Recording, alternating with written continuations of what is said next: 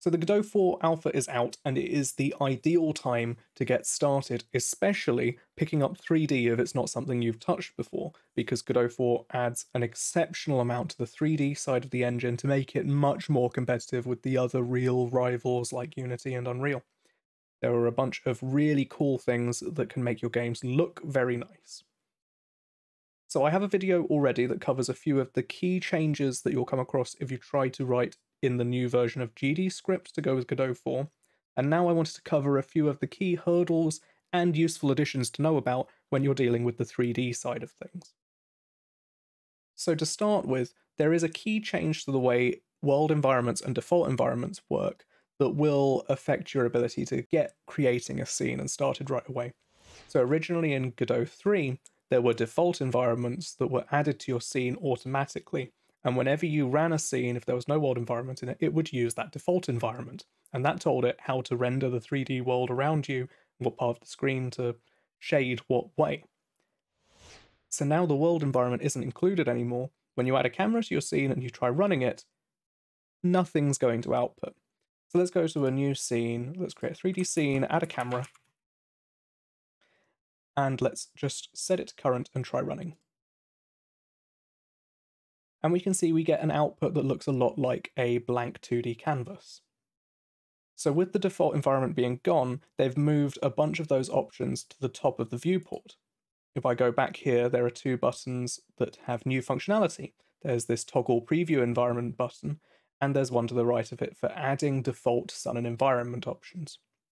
So if I click the preview button, you'll see exactly what's happening when we run our scene. And it's that it's rendering without the preview environment. When you're in the editor, it has this preview that is distinct from the old default environment in that it's not actually in our world, it's only in the editor, but we can add a version of this environment to our game. And that's all done in those three vertical dots to the right of it. Here we can add a default environment and a default sun to our scene, the same one that's in the editor right there.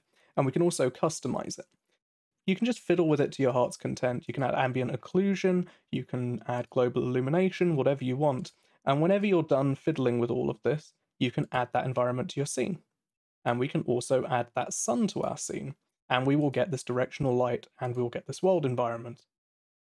Now, when we run our scene, it will have access to the environment and it will actually render. So that is an extra step when you want your game to actually output when you're in 3D, but it does simplify the 2D experience. It also makes the default environment a lot easier to edit and a lot easier to choose the core options you want when you're setting it up.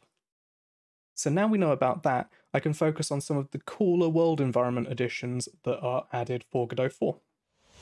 So if we go to this world environment that was just added, there are a few fold-out options that simply weren't present before, but the coolest of them is SDFGI.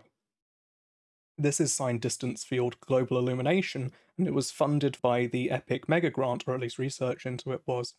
And it's a very novel new approach to handling global illumination that is a real fighting reason to use Godot going forwards in a 3D environment. If I go over to my other demo over here, I have signed distance field global illumination set up, and it makes the objects in the environment look a lot more like they actually fit in the world, and it makes this ambient occlusion around the edge a lot starker. So how do I set that up? Well, to start with, we go to the SDFGI dropdown and we check enabled. From there, we can also enable occlusion and reading the skylight to make it better reflect the environment settings we've already got. I tend to just add those when I'm running. Now if we add some meshes, like a plane, and a sphere, we can get onto the next step, which is all the objects you want to use, signed distance field global illumination, you need to set their global illumination mode to static. What that means is that the engine will build its signed distance field from all the objects that have been labeled as static. So if I click the drop down here, you'll see it even says SDFGI as one of the prompts next to static. And if you want the fidelity of the effect to be greater, you can increase the light map scale. I've been very happy with the visual fidelity I've been able to achieve using this SDFGI as well as a little bit of anti-aliasing. I've just been very happy with how things have been looking. There are two more things I want to look at, the first of which is the reworked mesh importer. I've got some GLTF files from KayKit. If you double click on them, now there is a importer menu. Uh, this gives you a preview of the model you're importing.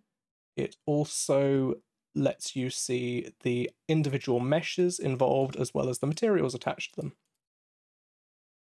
So that's all nice, but the key cool thing this does in my eyes is this generate physics option.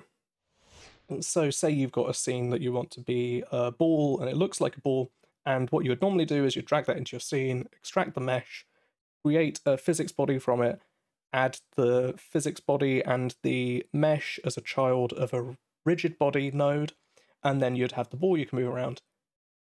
That process is now automated. There's this generate physics option. If you click on that, you then get a default body type and options to control how the collision shape will be created.